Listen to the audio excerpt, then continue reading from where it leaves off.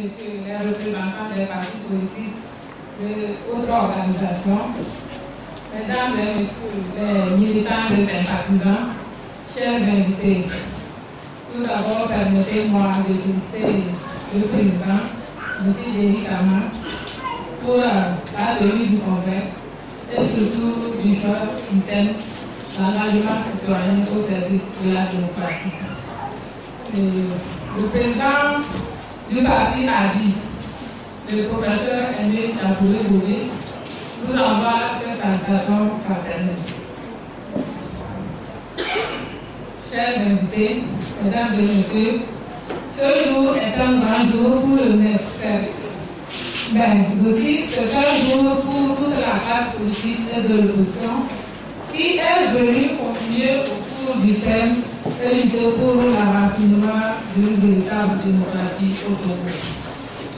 Les exemplarités démocratiques que nous réclamons au sommet de l'État se traduisent dans nos organisations de base par ce genre d'événements qui nous permet non seulement de revigorer les tests l'identité, mais aussi et surtout de renouveler les instances dirigeantes. Preuve que nous sommes une nouvelle, une nouvelle race de femmes et d'hommes. Politiquement décider à faire les choses autrement, ou mieux encore, Monsieur le Président, faire la politique autrement.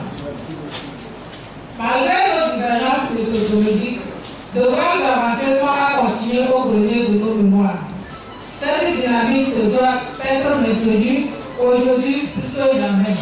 Et l'opposition togolaise doit être solidaire autour des idéaux communs qui n'ont d'autre finalité que le changement du parti.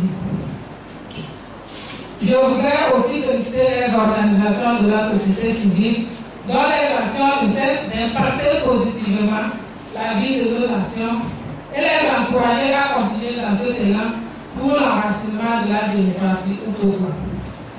Je saisis aussi cette occasion pour m'adresser à mes soeurs femmes, particulièrement car mon constat est un peu amer.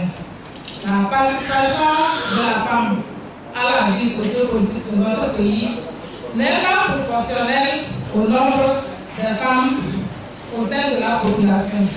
Mais encore, cette participation s'amenuise au fur et à mesure que l'enjeu politique s'accroît. Alors qu'il leur faut moins d'une heure pour tout basculer, nous savons de quoi les femmes sont capables. Donc, les autres, mes soeurs, les femmes, les jeunes filles, en plus d'engagement, de motivation et de développement. Je n'avais pour preuve que le pouvoir en place ne cesse de multiplier des actions sporadiques. Insolentes et bien souvent discriminatoires pour faire croire aux femmes qu'elles ont une place importante dans ce deuxième système. Comme Togolais, il est temps que bien doit circuler vers la liberté.